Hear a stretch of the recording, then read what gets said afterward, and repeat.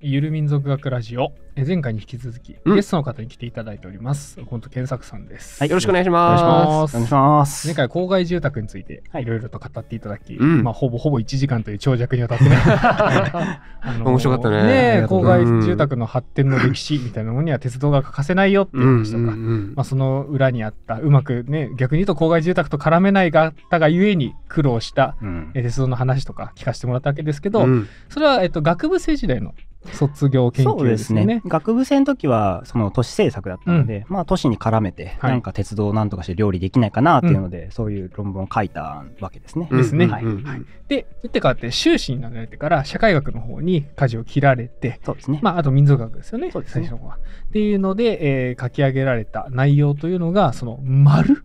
丸です。丸。丸について書かれたんです丸についてです。丸ですか？丸？鉄道の丸鉄これ道の丸も由来もちょっと話しましょうかね。はい。そうですねそうですね。じゃあまずそのあたりから、うんはいえー丸とは鉄道における丸とは一体何なのか何なのか。それから鉄道作業員の方々の、えっ、と、なんていうんですか、ライフワークうんっていうんですかね、に迫るようなお話をこれから聞かせていただきたいと思います。はいはい。じゃあ丸って何かっていううんことについて、うんうんまあちょっとまず触れておきましょうかね。ここであの論じてる丸自体は、えー、と国鉄系の JR とか、うん。国鉄の、えー労働者の間で、まあ、割と広く使われているターではあるんです。た、だ、えー、とこれをなんていうか発祥をたどると、うん。その実はあの機関士とか運転士だけが最初使っていた言葉だったとおー技師の方々みたいな感じですか言ったら。ぎ技技師、あの技の師匠技。術師。あ、ちょっと違うんだ。技師っていうとあの、うん。あ、ちょっと厳密には機械整備っぽい感じになあ、ってくそうかそうかるのでそうかそうか。ちょっと違うか。なまあ運転士機関士の方々、現場の方々。まあ現場ですね、うん。現場だけどう運転系ですね、運転系。の人たちが使っていたうんような言葉だ、うん。で、えーじゃあこれ一体何なのかっていうと、うん。鉄道のえっ、とまあ現場の人が必ず持っているルールブックみたいなものがあるんですけど、ここの中には、まあ、遅れたら、遅れ、あの、ダイヤから、あの規定の時間より遅れたら、えっ、と、なんとか自分で調整をして走ってもいいよみたいな。あ、そんな。うんそう、遅れを回復するように努めなくてはならないというふうにああ。書いてあるわけですね。遅れを回復するように努めなければならないならなはいだったかな。まあ、まあ現場で、えー、と取り急ぎ済ませてしまってもよいっていうことになるんですか？あそうです、そうです。現場で、現場判断で、まあ、なんとかしてもよいと。あ。そうなんだ。裁量がそういうことになるんですね。はい。あるんですよ。だから、こう、例えば、列車がこう、5分遅れてうん、どっかを、駅を出発するとうんするじゃないですか。うん。そうすると、通過駅ごとに、遅れ何分何秒、うん。遅れ何分何秒って言っていくんですね。で、蒸気機関車の時代、まあ、電気機関車もそうだったかもしれないですけど、うん。乗務員、先頭で運転する人っていうのは、2人ないし3人で運転をしていたんですね、機関車。あの機関士と機関助手っていうのが、うんうん。でうん女子が2人。助手が2人だったりもします。はい、三人の時は3人の時は助手が2人と。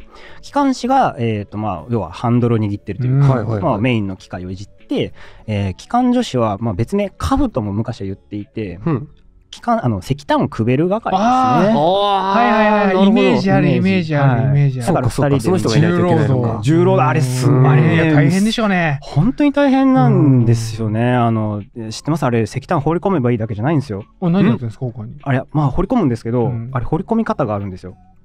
え？だって言ったらあのスコップでジャッてやってジャッてやるやつでしょ？まあそうそうそうそう。ん。そなイメージでね。あれはこの釜の範囲がこうあるとするじゃないですか。そしたらこの釜に、まあ、全体に巻かなきゃいけないんですけど、うん。この縁に順番に巻いていかないといけないんですよ。縁？はい。この端っこにこうどんどん石炭を持っていくイメージですね。奥の方もそうだし手前もそう。こう円形に盛ることでうん。効率よく燃焼して、うんこうまあ温度が高い状態を作ることができると。これをできないといけないんへえなるほですよどなるほど。で運転してるのは機関士なわけで、うん。先輩で師匠なんですよ、うん。師匠なんですよね。なので例えばこう運転しててどうも蒸気の上がりが悪いってなったら「おちゃんと入れろ!」うんうん。何してるんだ？ばらまいてるぞ!」って怒られる。のかそう。で、あのーその手でよくある話だとそう戦争中ってこう石炭の質が悪くって、うん。全然蒸気が上がらないっていうことが、うん。でも輸送はすごい厳しい、うん。っていう時にこう蒸気が全然上がらなくっていやもう綺麗にやってるけどもうん。うダメなんですって言い訳してたら、お前あのやり方が悪いんじゃないのかって言って怒られるみたいな、うんそういう話があるんですね。まあ、みたいな重労働。機関女子ですね。で、この機関士は信号を見て運転するわけです。で、まあ、その二重チェックみたいな感じで、機関士が信号を見て、観光、例えば第一閉塞進行が言ってたら、後ろで機関女子も前を見て、第一閉塞進行って言うんです。うんうん大事閉塞第一閉塞、閉塞信号っていうのがあって、えー、と鉄道っていうのはこう、まあ、線状になってますよね、うん。線路が。一本あ。って、うんそうですね。そうですね。で安全のために、まあ、信号でこう区切っているんですけど、うん。これがこういくつものブロックに分かれてるんです。うんうんうん。で鉄道って、まあ、急に止まれないので、うんまあ、赤信号だって言ってべって止まれないんですよ、うんうん。なので、まあ、追突の危険がね目の前に列車がもう見えたら追突してしまうので、はいはいはい。そうですね。間をね広く取っておかなきゃいけないんです、うんうんなのでこのブロックには1列車しか入れないというルールをねあ決めておくんですよ。はいはいこのこの閉塞このブロックのことを閉塞と,、いうなるほどなるほど。漢字ってどうやっー、と閉じる塞ぐで閉あ塞ですね。本当もうそのままうんうんうん。のそのままですね。はいはいはい。で区切りのとこに、まあ、各信号があってそれを閉塞信号っていうんですね、うんうんうんでまあ番号が振ってあって、うんうん。機関士とか運転手はこれを覚えておくわけですね、はいはいはいでこう示唆観光指さしてこうちゃんとあ示唆観光っていうんですね。指差し観光とかそう示唆観示光唆故障じゃないですね。うんうんああ示唆故障とも言いますね、うん。僕ら警備やってたんですけど故障なんですよね。示唆故障なんですようん。多分指差し確認のことです言い方が語彙がちょっと古いんですか何なんですかねねねうん観光が古くないで古すか？そうですね。あの、ぐ軍歌ではね、看護の声に送られてってありますけど、うんちょっと古い語彙の印象がね、うんありますね。完成の間に故そうです障の故ですよねそうですね。うんうんそれがまあ、何番何番で決まってるので、第それが第一閉塞、第二閉塞、第三閉塞とうんいうふうになってるんです。で、まあ、これを指さして確認していくっていう二重チェックも機関助手がやってたんですね。うんうんで時々その信号って、えっ、とね、見蒸気機関車の形を見たら、まあなんか想像つくと思うんですけど、運転手が後ろにあって、でっかいボイラーが前にボーンってついてるんです前、ほまあまあ見えないんでいや、まあまあ見えないですよね。あなるほど確かに確かに右側とか見えないんですよ。うん。うん。だからあれどうしてんだろうって昔結構思ってましたけど。ああ、あれを見るのが機関助手の仕事です。ああ、右側の危な女性忙しいし危ないしうん大変ですね本当に大変ですね。まあ、機関士のその辺のね、機関あの危険な仕事関連でいうと、結構窒息事故なんていうのもね、窒息？はい、窒息事故は多かったんです。それはあれですか？なんかこう、空間上その燃焼してる部分と場所が、部屋がつながってるから、二酸化炭素濃度っていうか、まあ、うん。酸素濃度が減っちゃうからってことですか、トンネルの中がね、危険なんです。そっちか！なるほどな。はいはいはいはいで特にトンネルで上り坂なんかって言ったらうん。大変なわけですね。あでこう重たい機関士こうースピード上がんないし。上がんないし貨物引いてるとか、うんじゃあなんか雪の日だったとか、うん雨が降ってるとか。状況が悪くなると上り坂だからどんどんね石炭焚いて蒸気上げてパワー出していかないといけないのに換気はできないとうん。いうのでこう窒息事故ねがあったりっていうのは結構ねあったんです。そうなんだ危ないですね危ないんですよ。あのうんね上り坂で立ち往生なんかねしちゃったりとかするとね、うん。いや、もうおしまいっすよね。そうなんです。うんで、これで、よあの、そういうね、上り坂がきついところの駅の手前っていうのはね、手伝う機関車が待ってたりするんですよ。後ろから押し上げてくれる。はいはいはいはい。でもここの連携っていうのがね、取れてないと悲惨なことになっちゃったりするんですよね。うんあの、多分ね、事故の歴史とか調べたら出てくるんですけど、先頭にいた機関士と機関助手が、もう、あの、窒息で亡くなっちゃって、どんどん機関車がずるずる降りてきて、怖い怖い怖い怖い怖い。でも、後ろの補機の機関士はそれ気づかずにずっと押し続けるもんだから、もう分かんないと。うん、でどんどんどんどん降りてきちゃって、うん。手前のもう一個過ぎたトンネルの中で補機が入っちゃってうん。煙上げて中の人も死んじゃったと、そういう事故もねあったりとかして非常にねトンネルっていうのは危険な現場だったんですよね、あー上り坂のトンネル作っちゃダメですね。作らざるを得ないんですよ、ねでもそ土地はあれでしょうけど、日本はねん。そう山がちだしね、山がちなんで。ううん。あのポッポヤって映画がありましたけども、うんね。うん。あれでね映画の中でその描写がちょこっとだけありますね。多分マスクしてこうもう息絶え絶えになりながらこうもうすぐ抜けるぞっていううん。励まし合うシーンが。それ毎日撮るんでしょ？そうですね毎日、いや、なんとかよくしたいいやねそのね本当にん。えー。これをね一応ねよくする工夫っていうのがねはいはい。あるんですよ。あそうなんですか？えー。それがね実はこうちらっといろんなところでこう僕が話して回ってるんですけど、はいはいはい。あのトンネルの入り口にカーテンを引くことでこれが改善された？改善しようとした？え、それ、それ閉塞しちゃわないですか？それこそ。カーテンを。カーテンを、うんカーテンでしょ？閉じちゃう。カーテンって閉じるもんですよね。閉じちゃうんですよ。閉じちゃうんですよ。知らないんですか？カーテンって閉じるもんです閉じれるんだ。閉じるものですよ。閉じて差し上げてよそうですね。あるし実例を、うんそう。あのー列車がはいトンネルに入った瞬間に、うん。トンネルの入り口をカーテンで塞ぐことによってトンネル全体をその機関車がこうピストンみたいになって煙をどんどんどんどん押し上げて逆煙突みたいになるんですよ。え、何を言ってるんだ。難しい話だったけど。もう一回、え、もう一回お願いします。ちょっと僕ら物理弱いんで。あ物理弱い。トンネルうん。の中でこう煙がもうもうとしちゃうのもうしてますね。でこれを出したいと。はい。うんうんでなので通通にするんじゃなくて片側を閉じてあげて、うん。で機関車はどんどん走り続けるので、うん。この走中でこうトンネルの断面いっぱいにある列車が動くと、空気ごとにこう動いてくれるので、うんうん。ああ、はいはいはいはい。ピストンのように利用して煙を出そうと。ああ、なるほど、なるほど。じゃあ、うしえっ、と、通り過ぎた後にさっと閉めるってことそうです。えーえ、それどうやって閉めるんですか？なんか、まあでまあ、当然機械かなんかあるんでしょうけど。いや、あのね、きあまあで、そういう機会はあるのかもしれないですけど、うんあの、まあ、駅からのね、遠隔でやろうとしたこともあったみたいですけど、結局、あの、そのトンネルの横に、あの、住み込みの職員さんがいて、一日中、こう、え、幕下ろし屋？めちゃめちゃ幕幕幕下ろし屋。が いる。すごい、すごい気合でやった仕事らしくえて、住み込みでですか？住み込みで。家族ごと移ってた家族ごと？はい。え、じゃあ、学校でお父さん何の仕事してるのって、トンネルに幕を下ろしてます？そう、トンネル幕を下ろしてえーる。そんな職業もあったんだ。ね、国鉄職員だよ。国鉄職員で？そう、国鉄職員だよ。いいですね。国鉄職員って名乗った後に仕事、トンネルに幕を下ろしてますっていう。みたいな。へえ。そういうね、レア職業だ。レア職業もあったりうんね。結構なんか住み込みでっていうの多かったみたいですね。あそれはもう機関車があった頃まで、で普通に走ってた頃までですか？そうですね。煙のそう今はもうないですあそっ。か残念だうんね、ちょきね聞けたらねよかったんですけど、ね。よかったですけど、まあそんな危ないことをずっとさせられないですけどね、そのトンネルの中で窒息しちゃうような環境うんをいまだにやるってのは無理です。今の時代だったら人力車に なるよね。うんまあまあまあまあでもセンサーとかねつけといて、うんそうそう。残っていて欲しかった仕事っていうだけだけど、単純に。ううんんまあそうそう何の話。だ。丸丸の話です。丸そうですね。丸の話です今日。丸の話ではいしたね。でまあそういうね。危険がつきものだわけで、いうん。ろんなイレギュラー、まあ、つきものっていうのが鉄道の鉄道だと世界だと。はいはい。そうそう。でこれの遅れをだからまあ何分何分で、うん。機関士と機関助手の間でこう何分だよ何分だよってこううん。お互いコミュニケーションを取りながら運転をしていくんです。うん。でその遅れが、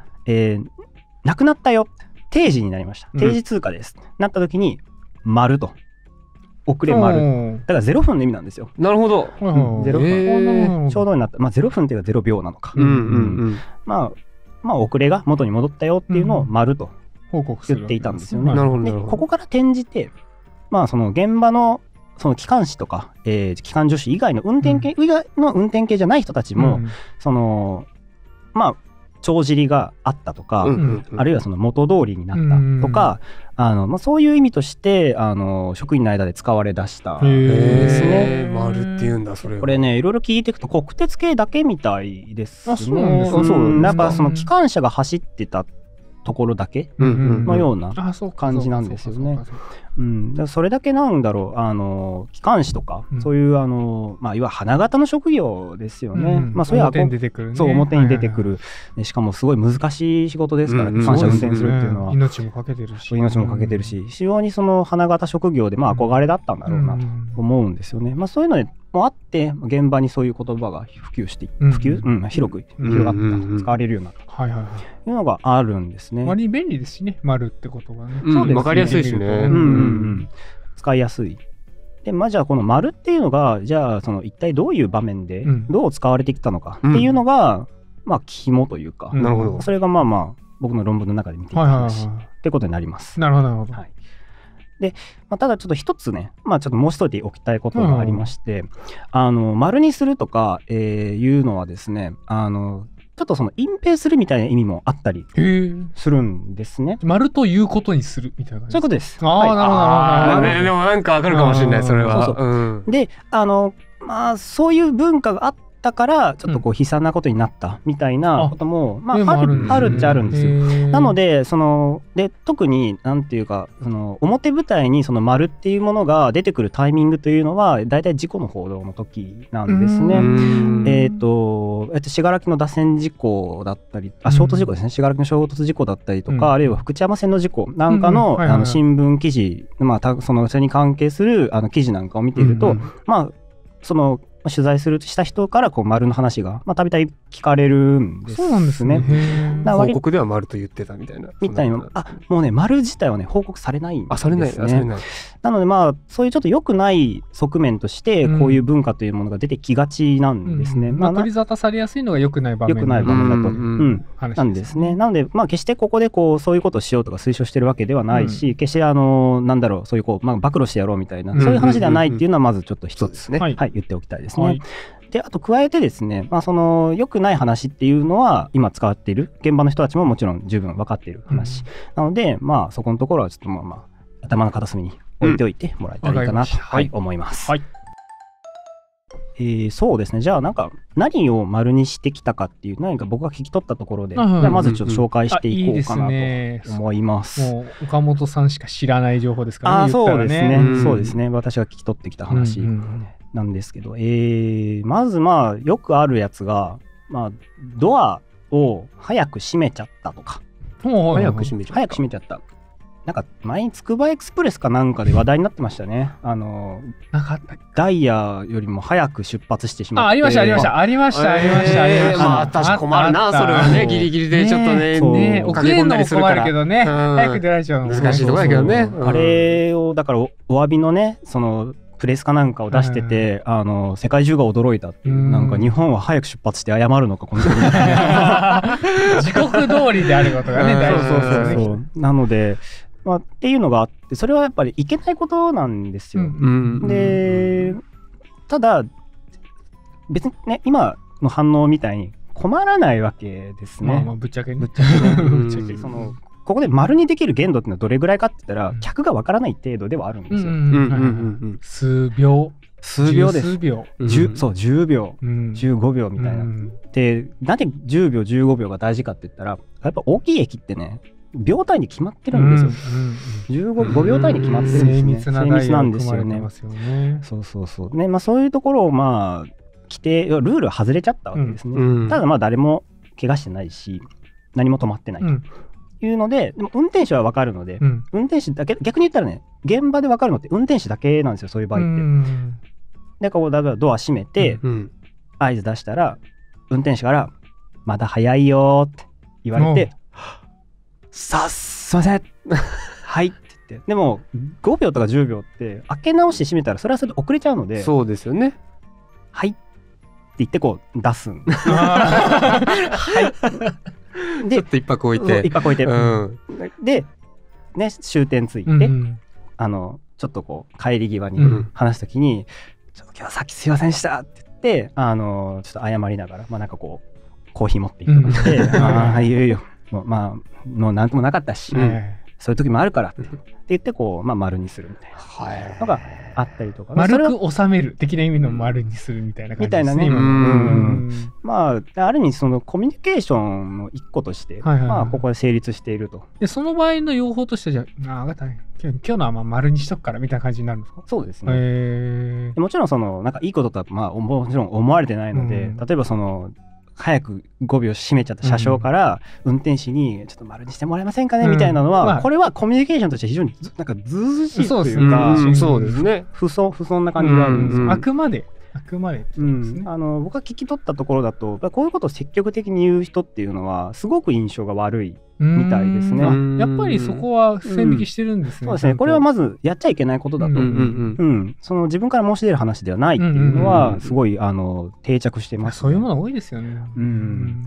あとそのコミュニケーションでその丸のあり方として面白いなと思ったのが、えーまあ、その新人の教育、まあ、教育的な側面もあるみたいな感じがあって、例えば乗務員ってあの始発の駅とかだと列車が出発するホームで待ってるわけですよね。うんうんうんうんで自分がこうもらってるそのこの電車運転するよっていう書類にこう何番線に作って書いてあるわけです。うんでこれを例えば間違えて待機してたと。うんそうすると自分が乗務する列車が来る乗務員がいないみたいな状態になるうんんですよね。そうですね。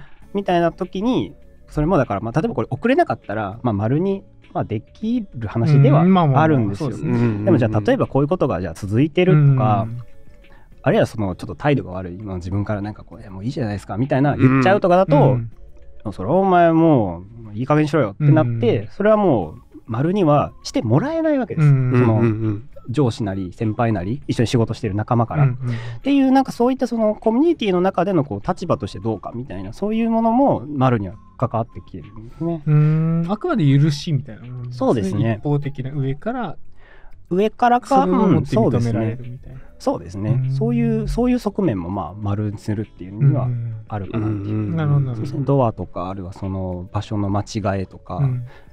うん、だから運転手がだから5秒早く駅に着いちゃうのもまあ丸の一つの対象になりますからね。うん。あとあのでこれ今はそういうまあ結構まあ細かい話うん。出ましたけどあの昔はですねすごいこの大掛かりな丸みたいな話も僕は聞き取って 大掛かりな大掛かり丸。な丸って丸にできるんですか？これね状況次第ではできるんへですよ。え例えば、まあ、でも言うても言うてもなんだ？せいぜい物が線路に落ちちゃって、うん。来る前に拾ってあげたみたいな、今だと結構あのボタンを押さなきゃいけないとか、はいはい。はい金さんにあの自在棒みたいなの持ってきても、うんうんうん。自在棒って久しぶりに言ったな。ね 取ってもらうみたいなね、はいはい。ことだと思いますけどでもせいぜいその程度ですよね。これね、うん。びっくりするぐらい大規模でん貨車を海に落としてしまった どうにもならない。それは丸にならないです。丸丸になる無理無理無理無もうね理。伝説的な伝説的な貨車は海に落とさないんですよ。落とさもそもね手に持ってたかのように言いますけど。あ落ちちゃったんじゃないんですよ。ポロじゃないのよすごい。大事故じゃないそんなことがあるそうらしいえだって言ったら脱線ですよね。言ったら脱線です、うんもうんうんうん。えう脱線どころじゃないですよもうボチャーンと落ちてますから、うんなんかその海その突堤とかに線路が引いてある場所っていっぱいあるんですね、うん。そこにこう機関車がこう線路に押し込んでたんですよね、でそれを多分その後ろの方が多分見えなくて、うん。ずるずるって多分行っちゃったんですよね。ちょっと行っちゃ2両二両ぐらいこうポチャポチャって。そんな音じゃ済まないです。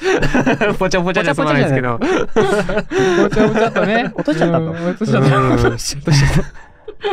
うんでなんか財布の話してあの落とした人ですか？だいぶか軽く語ろうとしません？あーでまあねポケットから物が。わろび出ないのよ、うん。貨車は。でまあちょっと積みには保険があるからなんとかなる。うん。でも貨車自体はなんともならないと。自分たちのところですからね。そう。うん。なのでね。横に置いてあった除籍になってる貨車があったので、はいはいそこの番号を書き直して連結して次の駅に送り出したと丸にしたと。丸にしたと。ないう話があって、えええななんだそれって僕も思うんってそんなてかまず貨車落とすんだっていう、うん。そうですよ。僕たちもそこに驚いてます。そうそうそう。うん落ちる構造になってるのもどうかと思うし。でもそっか。貨車の想像が実はちょっとついてなかったりするかな、これは。うん、貨車、貨車って貨物列車の。そうです。貨物列車なんですけど、あの今ってもうコンテナ列車ばっかりじゃないですか、うんあの下に平たい、こう、平貨車があって、ねあってね。箱が並んでるっていうのが今の貨物列車ですけど、何個か平たいの続いたら乗れんじゃねえかって思うやつ。ね。めっちゃ思う。あの、うん。ダメですよ捕まった人。いるんだ。あのどこだっけ、ねもうこの間ニュースでうんなんかあの熊本のその豪雨にボランティアに行くんだって言って、うん。海外の人があのリュック持ったままね バックパッカーの格好でうん貨車にの飛び乗って捕まってましたね。でも明日死ぬならやってみたいですよ。ああ。ダメよ。捕まってもいいからね。すぐ捕まりますからね。うん丸見えですからね。丸見えそうそうそう。でまあ今のあれだったらもう本当に大事ですけど、うん。うん。あの昔の貨車って、うん。あの機関車トーマスの貨車みたいなあれをイメージしてもらえたああ、らあ中にあれだ、えっと、豚とか牛とか入れられるような。そうですそうです、はいはいはい。豚牛入れれたりとか。薄い壁とかそうそうそうそう。屋根がついてるやつですようん。ああいうなんか本当にあの小さい箱がうん。箱に車輪がついてるみたいな、うん細かい貨車がいっぱいつながってるっていうのがその時のその当時のあの貨物列車なんですよ、うんうんだから2両落ちたって言ったらまあたかだか20メーター行き過ぎたぐらいの話ちょっとおかしいなこれ言ってること。バグってますバグってます。なんでコモンセンスバグってるうん。まあ今の想像する感じではちょっと違うっていう、なるほど。まあでも感じ。ですでもまだ平貨車の方が落ちるかなって思うけど箱落ちんの結構インパクトでかいっすね。でかいですよね、うん。まあ、箱が落ちたかそのいわゆるその砂利とか入れる類のあの平たいねトラックみたいなやつが落ちたのかはちょっと分かんないんですけど、うんにしてもですうんまあすごい話ですよね。いやこれなんでこんなことが丸になったのかって言ったら、そのまあ僕はちょっとこう組合のね方に取材をしたのでちょっと語彙が非常にこうちょっと思想に寄ってるんですけど、うん。まあ団結があったからという言い方を されてましたね。横のつながりがね。横のそうそうそう横のつながりがあったと。すごいな団結。だからそれは何したかって言ったらあのそのカシャをポチャポチャって落としちゃった後に書き換えてこうしようぜって俺があいつに連絡しとくからって言って、あー。次の到着する駅にはいはい。1本電話入れておくんですよ。うんうんで駅長に電話して駅長同士が例えば同期だったりとか、うん。あるいはそのすごいその最初の頃に職場が一緒だったみたいな仲だったりすると、おう久しぶりだなみたいな話になってちょっとな聞いてくれよちょっと頼み事があるんだけどさ、うんって言ってこうコミュニケーションがね密に取れるわけうんですよ。うんっていうのでこういうことがあってちょっとなんとかって分かったなんとかするわっていうことがねまあできたりとか。うちうちに済ませられる。そうそううちうちに済ませられる、うんまあ、逆に言うとまあそれねうちうちっていうと非常にそのだからこうあの暴露っぽい話になっちゃうんですけど、うん。こういうつながりがあるあればそういうコミュニケーションって出てくるんですよね。まあまあそうですよね、うん。うん。あの大ごとにでしなくていいんであればみんなしたくないし。したくない、うん。なんか何かによって大体できるんであればすればいいだけの話そうそうすればいいんですよね。で丸にしていってなんとかこなす。だからここまでしてなんとかこなすっていうのは、うん。その鉄道員のちゃんとあの、そうね。きっちりうん。定時で列車を運行させようっていうそういうこう、心持ちがあってこそうんなん。円滑な流通がまず第一そうなんですよね。円滑な輸送をするっていうので、うん。こう頭にずっとあるんですよ。うん。でこれはすごいその鉄道的な意識の持ち方だなっていうのは僕は思ってるんですよねうん。つまり何かって言ったらこの駅の端と端というか運行のその端と端ではすごい遠くの場所がつながってるわけうんですよ。うんこれが一本の線路でつながっていると。これ言ってしまえばこの端と端の地域っていうのがその線路によって一つの機械になってしまったと言ってもまあ過言ではない。なるほど。はいはいはいはい。ね。よく鉄道は都市を機械機械化したみたいな言い方がありますけどほうほうほう割とこれは比喩でもまあないのかなとういう。うんうんううん。ん、でい一個大きなものをこう操作してるっていう感覚でいるんですよ、全部つながってるわけです全部つながってるというどっか切れちゃうそともう通電しないしそうなんですよ。そうどっか切れると電気が通らなくなるし、うん。列車が線路の上で止まると、うん。他に迷惑がどんどんかかっていくんですよ。まあそうですよね。しかもその範囲はめちゃくちゃ広くって、うんうん。いやなんかそそのこう現場で仕事をしてる人たちのそのその場しのぎみたいなうんの僕大好き。で、うんうんうん。今の話すそう。改めて噛み締めるといいいい話っすね。いい話ですうんいい話。すね。あの落とした貨車ってその後どうなったんですか？確かに。うーんなんかあさったら出てくるんで。魚の住みかになってるそう。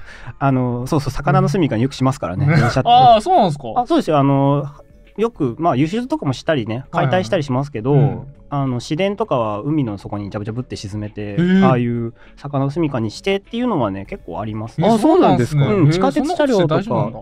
まあ勝手にとかじゃない。えーあもちろん。それそうそう。心配してない丸にできないのよ。それは。大丈夫なんだってい。うか環境省と横のつながりないから。うん。そうちゃんとあの報告しましょうそれは。そうそう。いあのいちいち報告してこれなんか迷惑だなってやつが、うん。その丸になるわけですね。今はすごい自然とそのそれ丸になるならないっていう感覚が今話されてましたけど、うん。そのこれをこうなんかこう明文化すると、うん。要はその違う組織が噛んだりとか、うん。違う部署が噛んだりすると、うん。それは丸にはならない。逆に言ったらそこの部署も含めて巻き込むことができたら丸にすることができる。そういうその状況の定義っていうのが、存在するわけあですよ。ー確かに確かに。うん。これをまあ見極めないと大ごとになるんですよね。やっ。ぱその面でも上の人間しか丸にできないんですね常に。あそういうことですね。そうそうそう。力関係とか、横のつながりとか。横のつながりとか、だからちっちゃかったらちっちゃかったで列車の中だけで収めることができるし、ちょっと大きくなると、まあ、もっと巻き込んでいかなきゃいけないみたいな。ああ、じゃあ、なるほど、なるほど。じゃあ、その、なんだろう、こう、職場空間、職場という空間において、どれくらいいるか、どれくらい経験を積んでいるかとか、誰とつながりがあるかっていう、そうの個々人によって丸の範囲が異なってくるそれはもう全然違うんです。それ面白いですね。それこそその態度によってもどんどん変わっていくわけです、うんあそう態度もあるそう態度大事なんですよそう。か、そうか、そうそうか。だからちゃんだからこそそのさっきねそのドアを早く閉めちゃったうん。人なんかはうん一本コーヒーを持っていくわけですね。はいはいはいはい。これすいませんっていう誠意なわけですよ。うんうんそうですね誠意がないとそこの関係っていうのは良好に保たれない。ひいては丸にもしてもらえないと、はいはいうん円滑に仕事も進められないと、こういうことになっていくわけですね。だからそのまあなんかアクシデント一つ文字にただしてこれがい丸ですこれがそうじゃないですとはならないってでことねはならないと、うんそうそうそういうなんか機械的なものではなくって非常にその人間同士のつながり味がすごいあるということなですよね。なんるほど。まあ、それに類する話丸ではないんですけどその要は鉄道の仕事の回し方ってどんなもんかっていう話なんですよね。うん。あのーこれ普通に一般の人もねあの関わってくる話だと思うんですけど、うん。うん例えば乗ってる特急が遅れた場合うんうん。この後新幹線に乗り換えなきゃいけない。うん。っていうことがあった時は、うん。うん。えー特急の車掌さんに言うと新幹線を止めてもらうことができます。え？そんな、へーそんな暴挙は許されないでしょ。一応ねはい。さすがに望み止めるは無理らしいんですけど こだま光を止めてはいけるそうです。そうなんだでそんなことできるんですね。ありますあります。あとはその特急であとはその例えばなんだろうローカルの方に、はいあの乗り換えなきゃいけないってなったら、一本逃すのも1時間後とか、うんうんあでもそうですよねないところなわけですよ。うんうんそういう時はその末端の線区の出発を遅らせるとかへえ。そういうね仕事がね実際あるんです。それなんかサービスのうちなんですか？多分そうですねまあサービスのうちっていうことでしょうね。まあ困りますからね1時間後の列車待たなきゃいけないなんていやー確かにでもそれによってちょっとダイヤずれるわけですよ、ね。まあダイヤずれていきますね。そうですよね。そうですね。でもあれとか最近で僕も経験あるのはその線路乗り換えるってなった時にもうそれが終電だったので、はいそうそうそれでもうそれ以降逃しちゃうと帰れないってなっちゃうから、別の列車が、うんうんえー、と線路が遅れてただから、えーちょっとここで待たし待ちますみたいなことは今でもありましたね。でもね終電こそ多分言ったらね接続待ってもらえるんじゃないかなと思うんうんうんですよ。うんうんうんあったあったあったあったあったここのカフェの仕事の帰りであ本当うん、千代田線がゆっくりになった時ありましたねそうそうあそあったあったあった接続待ちますっていう時はうん十分あるんで、ありましたありました、うんうんうんああれがそうかあれがそうだとう。思いでもそれを途中だとしても頼めばやってくれる状況がある。あると思います。幹線で。新幹線うんあの新幹線言ったら接続する特急扱いなので、うこれはねん十分あると思います。でせ最初だったら多分ねのぞみもワンチャン待ってくれるんですよ。で、うん。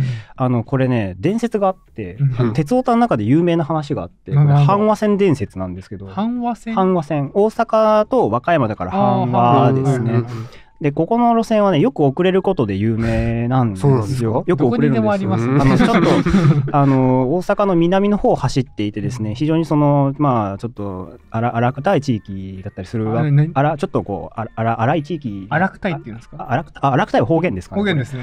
失礼しました。荒くたいっていちょっと初めて聞きました僕は。あ本当ですか？はい。それなんか荒っぽい荒っぽいる治安の悪いうんあそうですそうです。荒くたいって荒くたい感じへですー。ねでまあまあそういう地域なんうんまあうん。岸和田とかの辺を通ってるんですけど、なんかねあのビニールが風に引っかかってたとか あのそれはねまだ序の口で布団が飛んできてたとか、なんか自転車が布団 って本当に布団のその？布団がダジャレでしか聞かないと思ってたけど。みたいななんか面白い電車止まったエピソードがあって。でこれねあのここの路線はね関空にあの行く特急が通ってる路線なんですよ。あそれは、はい、なの飛で行機絡んじゃうと。そう飛行機からの接続特急がある日うん遅れたことがあって、うん最終のはるかが遅れるんうん遅れたことがあってでこのはるかは最終の新幹線の東京行きに接続をしてるんですよ。ああそうなんですねなのではるかが遅れてるのを待ってのぞみが待つとはるかは待ったと。あはい。で遅れて結構激しく遅れたのかな。うんで遅れてそれ出発しはるかを待ってのぞみが出発して東京に行くと。でこれ最終ののぞみなので、うん。東京の方の私鉄はその接続をやっぱ待ってるわけですよ。で小田急の最終の接続が遅れたと。うん。関空の遅れを海老名に持って行ってしまったっていう。えそういう伝説がすごい。あるらしくって。本州の3分の1ぐらいですよね。そう。なんかてあこれが機械でつながってるっていううことかですよね。今本当にガチャンって動きましたよね。その大きく離れたところで。こういうこれが鉄道なのでやっこういうことが起きるんですよ、うんなのですごくこう動かし続けるっていうことに神経を使うのはまあうん当然だなって思うんですよね。翌朝のこともありますからねそうなんですよねそうそうだねよく遅れを持ち越さないよなって思ううんんですよ。本当にすごい、うんすごいですよね。まあ僕は在学中にあったのはあとは分かりやすい例で言うと有楽町で火災があって新幹線が止まったことがありましたうんね。有楽町での火災はい、有楽町で火災があったんです。沿線火災ですね。うんで沿線火災も列車止めないといけないんですよ。うんやっぱね、まず火の中走らせるわけにはいかないのでうんち。ょっと見物ですけどね 映画です。そういうすごいね。戦争映画とかでありますけど、まあ、なぜでも止めなきゃいけないんですけどはいはいはい、新幹線、有楽町で止めると、どこまで止まるかって言ったら、博多まで止まるんですよ。ああ。そっか。博多まで、はいはそう、新幹線ののぞみって全部東京に来ますから、うんうん博多までダイヤが影響を及ぼすんですよね。えらいこっちゃ。動かそうと思ったらもちろん大阪で切ることもできるんでしょうけど、うんにしてもやっぱり大阪で止めなきゃいけないっていうと、うんまあ、大事なわけですよね。うんうんうん。であとはその東京中心の設備になっているのでそのじゃあどこで折り返せるかっていうところはね決まってきちゃうんですよね。うんうん。うん、例えばじゃあ東京と品川の間に有楽町があるじゃないですか、はいはいはい。だからじゃあ全部の新幹線を品川で折り返させてなんとかしようぜとは実はできなくって、うんうん東京でさばける量は品川ではさばけないんですうよ。んなるほどなるほど。なのでこれは後のことも考えると全部止めてしまわないと。実はかえってニッチもサッチもいかなくなるっていうのが鉄道うんうんなるほどなるほど。なんですね。大大ごと大ごと難しいなそれ一気に広がってしまう、ううんこれはもう丸にできなかった事例。もうこれ丸にはならんですよ、うん、丸にできたら多分消防はいらない確かに。確かに確かに。もう消防に行ってる時点でも丸じゃないですそうから丸じゃないです。そうそうそう全然丸くないです。悪くないです。でそうそう。あの、だか運転士の方が電車の運転の仕方を書いている本が中古新書から出てるんですけども、あの非常にこうあのいいことを言っていいことっていうか、もう僕ちょっと感動した一言があって、あの乗務員関係者が全員健康で、えーお客さんも全員健康で、うんえー設備に問題がなくて、うん。機械もきちんと設計された通りに動いて初めて鉄道っていうものは走るんだと。うんうん。これがこの奇跡が何秒とずっと続いているのが鉄道なんだっていう話をし。て確かにこれは奇跡なんだなと。つながってるからこそやっぱ止まってしまうしうん。全部止めなきゃいけないものなのでうん。そういう奇跡が続いて鉄道って動いてる。うん。この奇跡を続けるためにこう鉄道員の人たちは気を張って仕事をしてるしその末に生まれたのが丸っていうカルチャー。なんだと。決してなんかその表に出てくるタイミングっていうのは非常にこう悪いところが多いんですけども、なんかこの丸がその作れる土壌みたいなそれは職場の余裕だと思うんですよね。うんうんうんうんコミュニケーションがしっかり取れる。そうですね人のコミュニケーションがあるところに丸はあると思うので、うんあのなんかまあそこまで目くじら立てて目をつむようなことはあまりな,、まあ、なんかしない方がいいのかなと。うんうんうんそのねなんて言いましたっけねそのなんかたびたび堀本さんもインターネットコンピュータ学ラジオの方で言ってますけどその余裕バッファーじゃないけど、うんバッファ。ーうんうん。なんて言って冗長性か。あ冗長性。冗長性ですよね言ったらね。そうですね。それがたん確保されていないと、まあ、回せない回せない。今のきっかりした時間。面白いですよね。その冗長ゆえに回せるうん、そう正確な時間。うん組っていうのがうんあるんだな、でそれがもう丸がやっとそれでもって担保されてるんだな。そうですね。しかもこの冗長性がなんかその時間の余裕を持つみたいな、うん。その定量的に測れるものではなくて、うん。もうちょっとその複雑なもの、うん。社会的なものっていうのがこれは非常に面白いところかなと。うん。面白いですね、うん。思いますね今のところの話だと丸って言ったら現場、はい内々の側から発生してしまった有事の時にうん。対応するものとして、このなん。ていうん。ですかこう当事者側から発されていく、まあえ冗長性だったわけですけど、うん。その例外とかってあったりするんですか、そうですね。まあ今のはし、ね、その現場の社会的な関係の中でうん。人間の動きとして出てきましたけど、うんうんあの一個この規則の側からの縛りっていうのでこうできてしまう丸みたいなものもあるんでですね。縛りから出てくるのか？なそうですね。うんあの鉄道の現場ってこう非常にね危険な現場なんですね。そうですよね。もちろん冒頭に話したみたいうんにこう窒息事故がうん。あるうんあったりとか、うん。あのなんて言ったってやっぱその生身の人間がねあのでかい鉄の塊と格闘しながらこう仕事していくみたいな現場。いやそうっすよね、はいあの、はいはい。僕高速道路に規制帯張る仕事してたんですけどあそうですよね。言ったら近いっすよね。そうです横ビうん。ュンビュンビュンビュン80キロ100キロ以上で車あの鉄の塊ですよそれあれもね。そう走り回ってるわけですよ、うん。その横でなんかカラーペニャペニャのカラーコーン置いて歩いてるわけなんで、うん。鉄道より危険そう、ね、いやもうどっこいどっこいですけど、うんまあそうね、まだ時間来るタイミングが分かるだけね鉄道いいかもしれないけどあっちは速度と質量がやばいですから。そうですよね。コッパみじんですからね。こっち最悪助かるかもしれないけど、いやだからあの危険の中でね仕事してるってなるとそれはルールも厳しくなってくるわけですよね。そうですね、あのーまあでもななんて言ったらいいですかね。どうしてもそれをやらなきゃいけないっていういやそのやり方をしないと、うん。あの仕事が回らないっていうね、うん。状況っていうのはね往々にしてねあるんですよ、はいはいはい。その体張らなきゃいけないというか、うんうんうん、あありますよね。ねそう要は現場あるあるだとそう思うんですよ。言ったら僕も規制帯張るときってあのカラーコーン置いていかないといけないんですけど、うんうん。カラーコーンを置くためにどうしたらいいかってそりゃ身を乗り出してトラックから隣走ってる横でこう、うん。コーンを置いていくんですまず一発目があるもんね。一発目あるでしょ、うん。でその後もどんどんずっとそうやって置いていかなきゃいけないし、なんだったら降りて車車道ここビュンビュン走ってるの間の点線の白線の上を歩きながら置いていくんですよ。カラコン内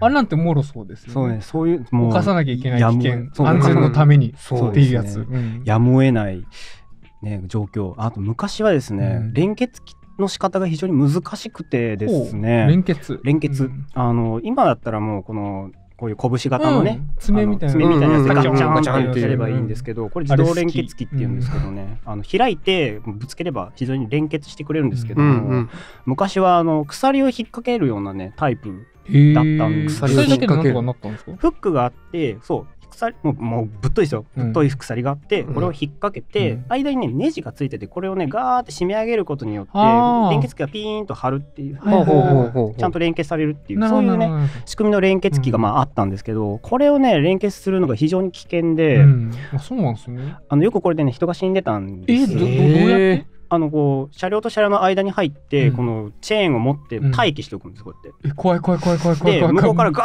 ーってねこう列車連結する列車が来て、うん。で、えーとね、連結機の両脇にね干渉機って言われるものがついてるんです。ああの機関車トーマスって横に黒い丸いものが赤いバーの横についてるの分かる？覚えてないな覚えてないか？ちょっと見てみ見ましょう見ましょう機関車トーマスで調べたらすぐに出てきますね。あの機関車トーマスについてる連結機があれが、えー、とそのネジ式連結機あるいはバッファー式連結機っていうようなものなんですけどこのね横のこの黒いこれこれこれこれが干渉機ってやつです、ね、ああなるほどなるほど。で真ん中のやつが連結機これはバッファー式連結機ですね。ああこの干渉機同士を一回ここバネが入ってて、うんあ油圧油圧だったりバネだったりが入ってて受ける受けることができるんですよ。なるほどなるほど。でこれを一回ギュッて受けて、うん。縮んだところで連結をフッてかけてネジ締めるんですよ。縮んだところ？一回それで落ち着いたところじゃなくて？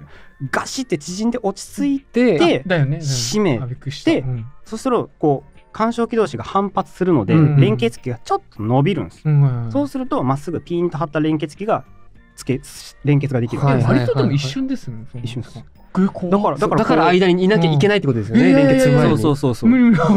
だここ危ないよね。もっと他にあっただろうって思っちゃうけど、うん。もっとあったんですよ、うん。あったね。そうだあのとはいえこれまだねヨーロッパのねローカル線だったら全然使ってましたマジっすか？もう感動しましたね。うわバッファー式連結機だ へ出張でテンション上がってなんかこう上司に「上上上司あれ?」って言って上司上司あれ？上司あれ？ねなってたんですけど。さすがに今ねそこまでやなんかあの気合の入ったことやってないと思うんですけど、うん。昔はもう何回も連結しなきゃいけないし、うん。もう何個も何両も細かい車両つながなきゃいけなかったので、そのもう垂れて乗るとか、うん。うんいろいろしてたわけですね。じゃないともう効率が悪くてしょうがなかったんですよね。でもやっぱ人は死ぬしうん。危険なので、うん。まあ、経営側としてはそのだからルールを決めてしまいたい。そうですよね。こういうやり方をしてくださいっていうことをしなきゃいけないんですけど、こういうことをしてくださいっていうルールって現場としては運用がしづらいとか,うん。か、それをすることによってかえって効率が落ちてもう職場が回らなくなるっていうことはあったりするんですよね。うんまあ確かに、うん。まあ、これはなんかそのルール作る側が悪いとかではなくって、うん。それはどうしようもないものだったりとかするとは思うんですけど、ちょっと危ないながらも早いことを現場ではやってたりとか、うん。そうですするわけですもんね。そうあのちょっと手順飛ばすとかっていうのがあったりするわけです。うん。でそれはその手順飛ばしたら、まあ、危険とかっていうわけじゃなくってそれはもうなんかあのねお作法みたいなもんで、うんうん。でもそういうのは飛ばして省省略してやるとかっていうのはまああったわけですよね。でこういうものがダメで危ないって危ないからやめようよやめた方がいいよって言ってルールが設定されると、うん。それまで通りやってるとそれが違反になってしまうわけうん。ですそうですね。じゃあこの違反っていうものはいちいちじゃあ摘み取って上司に報告を上げるべきかはいはいはいっていうほとい別にいらなくないですか？これでなんとか回ってたし。そううん。回ってたもんだしなんだったら多分直近の上司であればうん、ま、前手育ったよねって分かるわけですよね。うんうんうん新しい人だったとしても、うん。じゃあ例えば、えーちょっと今日こういう作業しててこういう手順踏まなずにやったんですよって言ったらね、でどうだったの？って言って。うん時間通りです。だったらもういいいいわけですようん。ね。結果論。確かにな。うん。まあ、それが例えばそれこそそのちょっと態度が悪い、うん。目がつけられてる人だったりとかしたらまあ注意の対象とかにはうん。十分なると思うんですけど、うん。じゃあそれは重度な違反かうんって言ったら実はそうでもないとうんうんなってくるとそのじゃあ報告を上げることがかえって手間あるいはそのうん。業務の妨げうんになるうん。っていうようなところでまあ丸にしようか。うん。っていうような話になっていったりするわけですね。っていうそのルールが丸を作ってしまうという、うんうんうん。人の間だけではないそういうルールからの規定規定っていうか規定ルールによってこう構築されている丸っていうのも、んんうんまあそういう側面もあるのかなと。なるほど。これが丸のもう一つの側面ですうね。ん実際ね多分ルールに関する話だから、まあ、鉄道だから丸っていう話に、まあ、なったりしますけど、うん。あのな探せば絶対なんか日常生活にあるんじゃないあるかなはありますよね。全然あると思いますうん。ね。基本的になんか生きてて丸にしてることばっかりな気がしますそうですよね。うん。うん。ね、60キロ制限の道路をねちょっと超えるとかね、うんあとはなんだろうあ、まあ、歩行者信号をちょっと点滅するときに走って渡るとかね、うん。だって光れなかったでしょ？うんみたいな。うん。確かに。確かに。ううん。道路をね普通に渡っちゃうとか、まあ、多分道路が思い当たりますかねよくね、うん。やっぱルールがあって。